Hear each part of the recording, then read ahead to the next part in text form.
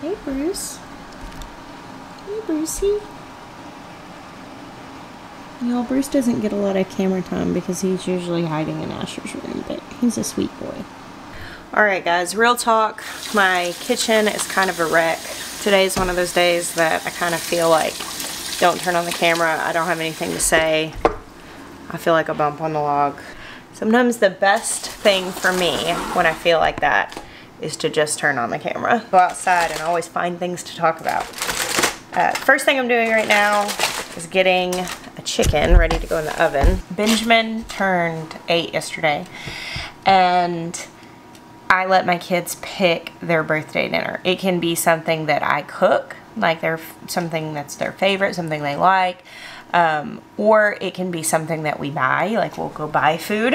The normal standards don't apply because it's a birthday, so if you've ever heard me talk about food, I typically want to instill in my children that we should mostly be aiming to nourish our body with food. But you know, you can eat most things occasionally and still be mostly nourishing. So, I mean, it's anything goes. Like one year, Asher specifically requested store hot dogs, not organic, white buns, not organic, and uh, store-bought cake with food dye icing. That's literally what he wanted. He was like eight or nine. Okay, like, and I would have bought him the stuff that he asked for. Anyway, Benjamin's request on his birthday has been the same the last couple years. And he asks for chicken noodle soup with a soda on the side. Now, if you remember, there was like a kind of viral song early in things being viral called chicken noodle soup with a soda on the side. He wanted chicken noodle soup with a soda on the side. So uh, this year, it was a very specific request. It was chicken noodle soup with the onions, celery, and carrots cut up tiny, tiny in the food processor, with long, wide noodles, and with root beer in a glass bottle. That was the soda. So last night we had chicken noodle soup with the soda on the side. This is one of our monster chickens that we raised. We had several that got really big in the last uh, batch. Miah pulled this one out of the freezer and it wouldn't fit in the Instant Pot. It was too big, which I was making the chicken noodle soup. But I was cooking the chickens in the Instant Pot because I didn't pull them out the night before. The chicken's still mostly frozen. I'm not cooking that tonight. Uh, Y'all know these days. Um, I just called Jeremiah and he's like, you know what, we'll eat leftovers and go outside to the garden. Bless that man. Y'all, do you have eight jillion names for your animals? Like William here, William Wallace, William, Willie Wham, Willie Will, Big Willie Will, Tiny Precious, um, Glorious Kitty, Mr. Kitty, and then Bruce, Bruce the Goose, Brucey Goosey, just Goose, Fat Cat, Big Cat, Trader Cat. Oh look, here's James Alexander Malcolm Mackenzie Fraser, aka Jamie, Wee Jim, Jimmy Jim, Jimmy John. Lots of names there. And they could all at any point be called Kitty Kitty. And then here's Katie Girl. Katie! KT, Katie Girl, Krusty Kate, Falcor. Oh, Katie's going to the Gruber tomorrow. She needs it. Bear and Lulu are actually in the backyard right now um, hanging out for a little bit. Lulu doesn't have a ton of nicknames yet, but that's because she's young. We've only had her for five months. Today is actually our last really warm day before it's going to cool off a little bit. Still be like warmish, um, as in a lot warmer than where it is for those of you who are covered up in snow. It's not going to be like tank top weather. So I'm soaking it up. Check this out. Um, obviously, this is still in progress. But um, Jim and Mike came out today and we're working on the stone. And this is all concrete that the stone is set in and they are using that to level it all out. So I'm not going to step on that because it's still wet. And I came out here today and I was talking to Michael and he had sent me like a TikTok or an Instagram reel where someone had taken like bricks and they were laying like a brick pathway but they left some of them out and backfilled them with dirt and like planted moss or something in them and it was really pretty kind of made my wheels turn, I really wanted to grow some Carolina jasmine on this um, pavilion. And I was planning on just putting it in pots at the bottom of this. And I'm still going to put some pots around here. But I came out today and I asked him what he thought about maybe doing a variation of that idea. And we're actually going to take this stone. This one's not going to be here and then this stone and basically it's not going to be concreted in there so we can dig down and I want to plant jasmine into the ground and kind of backfill some good soil over it and see if we can do that and train it to grow up um, up here onto the pavilion. I am too excited about this space. I'm just so happy. Isn't this wonderful? So we started these beds at the end of last summer um, we did those those four first and started here. Jeremiah still has one to build and make a video for you guys. We had started to build it and then lost the footage and so we have to start over fresh. Um, but then we finished it out over the winter and it felt so disjointed until the pavilion went up. And now with all of these little details coming together, it is really starting to feel, I mean, I can just feel the potential of this beautiful space. We, we did end up with a freeze on the calendar. In like a week and a half, it's saying that it's supposed to lightly frost. I'm not worried about it because I haven't planted anything out yet, but all the trees are blooming. I think they'll be far enough along that a really light frost shouldn't damage them. Um, last year, everything had started blooming, all the trees started blooming, and the oak trees actually got so knocked back by a late freeze that we didn't have like fully leafed out oak trees until like June or something crazy. And I'm hoping that doesn't happen again. I'm hoping that everything is now established enough that if the freeze does come, if the frost comes, it'll be light enough that it won't cause any ma massive damage. So I've just been waiting for more of my tomatoes to come up before I really start separating them. As you can see, that is happening. Look at all these little guys about to have their birthday. In here too, lots of babies that are just barely bending up out of the soil. Such a cool thing. Today I actually went to a farm store and I saw that they had tomato starts out. So here is my yearly PSA that I make. Um, just because a plant is being sold at a store does not mean it is time to grow that plant outside. So if you're a new gardener and you're buying starts, please do not assume that just because you saw a tomato plant on a shelf at a store that you can go home and put that in the ground. Check your forecast. Know what your estimated last frost date is and check your forecast. Now, I will say you can put things in the ground and then work really hard to protect them through a freeze or you can just wait until the freeze has passed and that's my way of doing things simply because I'll forget and then they'll die. Oh look, there's a little Paul Robeson tomato. It's the first, well there's a few there. It's one of my most favorite tomatoes. Oh, and a little basil baby. Happy birthday, little guys. Look at these. They're all coming up. We're going to make so much tea out of these. Another cool update that's happened here is the asparagus has started to grow. I made a little Instagram reel over the biggest asparagus stalk I'd ever seen in my life. There are quite a few coming up. Now this is only the second year for my asparagus. If you start with crowns, uh, you can harvest some in your second year. The thing is with asparagus is you really want to give it an opportunity to get very well established. So you'll hear people say you plant asparagus you can't harvest for three years. Technically that's really more from seed. If you're harvesting from crowns, you're harvest you're you're already planting fairly mature root systems, but we didn't harvest any the first year. You can harvest very sparingly the second year, and then the third year you harvest for a while and then you stop harvesting to let the plants come up. Um, because we these are perennials, we want them to be established. If you harvest all of them, then eventually they'll stop trying uh, you got to give them a chance to live at some point. I'll say this bed and that bed went to seed last year. Um, and we have baby asparagus all over. Actually, let's go down to the high tunnel. I saw something yesterday that I thought I got to show you guys.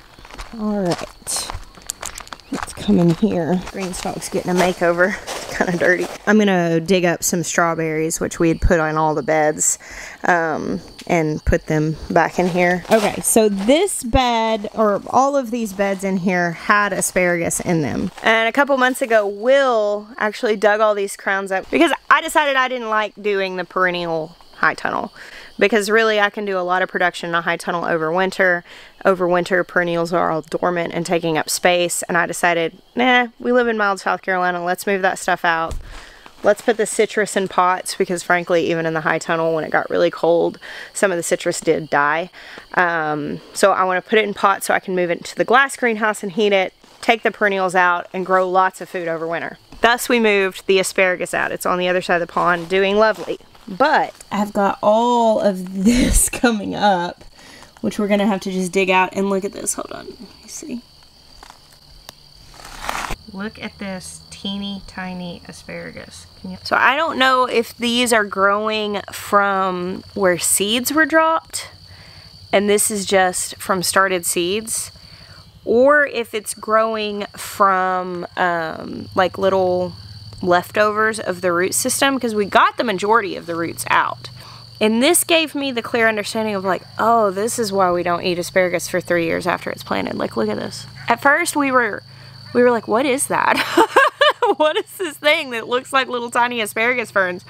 And then I saw some of them in this form and I ate one. And it's, it's asparagus. it tastes like asparagus.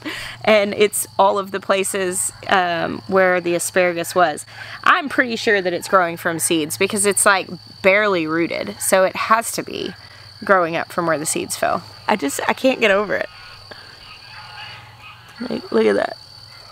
It's the littlest asparagus I ever saw. I was thinking maybe like I don't need to just dig them, like take them all out. I think I should probably scoop them out and put them in some pots, maybe go plant them one of the places I want asparagus to grow. I don't really want it to grow in here, but gosh, I just, I hate to stop a volunteer plant. Um, I have to because I'm trying to cultivate spaces, but when I see the will to grow in a thing, I'm like, you go, tiny asparagus. So this is cool, something that I'm just seeing that just came up today.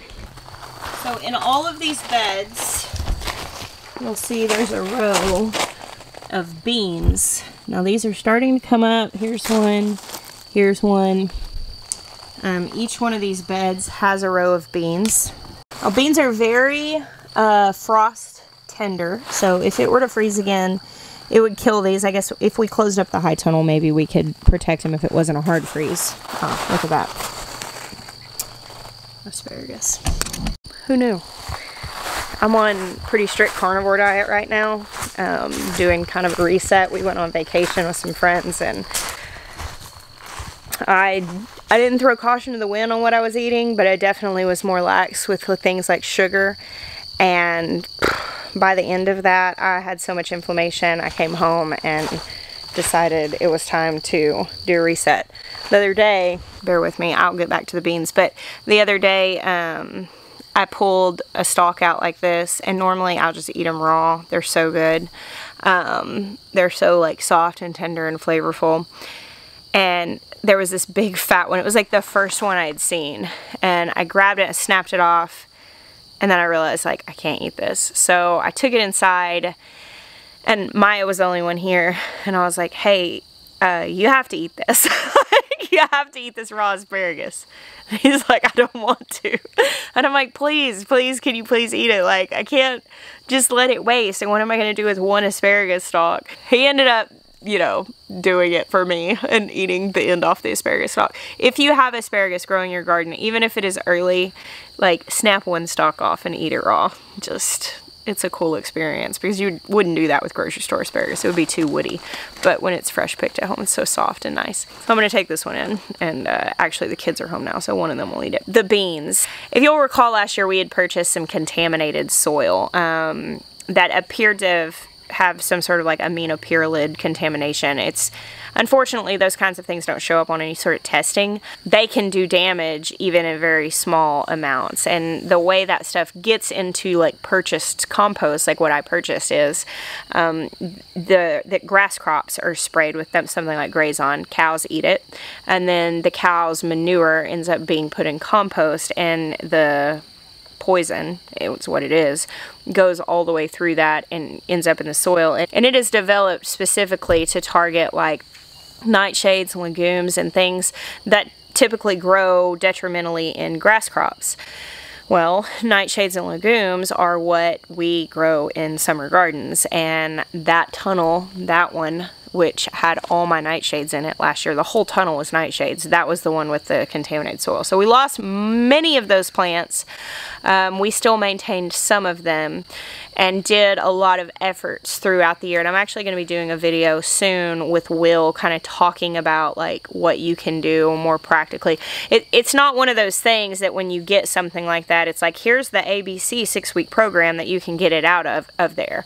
It's really just about minimizing it and building soil health over time. And I didn't want to scrape it out. I wanted to be committed to actually building the soil health.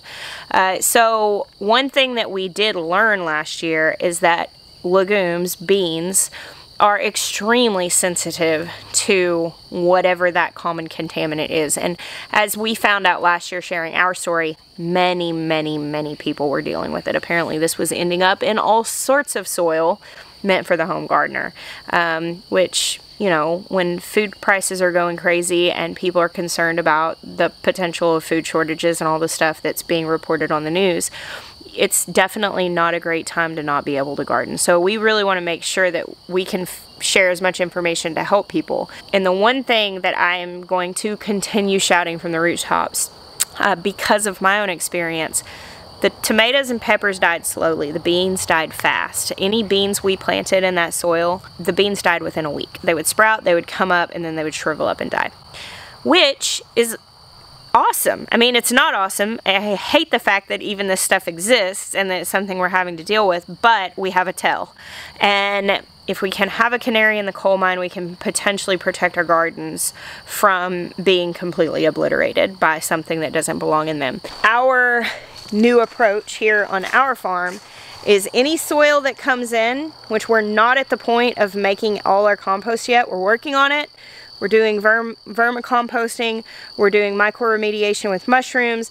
We're keeping our um, cow's manure and our stuff and building our own compost. Uh, but even still, with all of that, we're planting beans first. So these beds all have beans in them right now because we're gonna see how they grow. It's warm enough. We'll have to we'll have to do some sort of protection whenever it does freeze in a week and a half.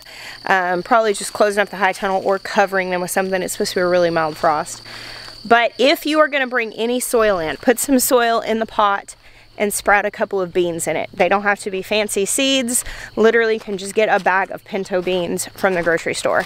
Sprout a couple of them in there and let them grow and see what happens. If they're growing and in a couple of weeks, you do it on your windowsill. Like you don't have to have a greenhouse. You don't have to do this outside.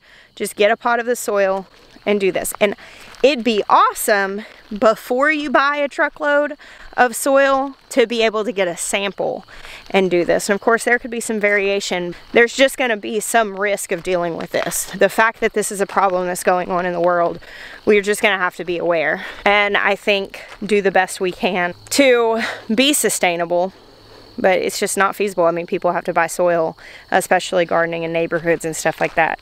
And so if you have to, if you can get a sample first, that's great. If you can't, and you buy a small amount of the soil, get some of it, sprout the beans, and watch how they do. If they're growing fine and looking healthy after a week or two, I think you can be pretty safe to assume that that soil is okay, at least with the issue of the aminopyralid. Um, so that's what I've done. We have we have some soil we had gotten from another source. That's what's in the raised beds out here. And I did put some tomatoes in them at the end of last year and they were fine. Um, grew some beans in them. And now I'm gonna be going back and gathering some soil out of the contaminated high tunnel. Uh, sprouting some beans in there as well as taking some soil out and sprouting some beans in my greenhouse and just, you know, so I can be absolutely sure that's not the weather affecting them. I can't say that that's like 100%, but I know that that was the first sign that we had a problem last year. So we just kept resowing the beans. This is before the nightshade started to show signs of damage. And Will and I both were like, what is going on? Like, why are the beans dying? Because they just kept dying. Well, then the nightshade started to twist and curl and become really gnarly looking. And as soon as that happened, I recognized what it was because I've seen other people share and discuss it. Got to the source, found out it was happening all over, found out, and that's when we started doing um, compost teas and mushrooms and uh, growing things like sunflowers and wheat that pull a lot of toxins and doing a lot of stuff to see uh, what we could do to make it better. I'm very curious to see how beans do in my contaminated soil this year. I'm curious to see how beans do in the high tunnel where I just showed you that we'd sprouted them. I don't think that soil was contaminated, but um, we'll, we'll know soon.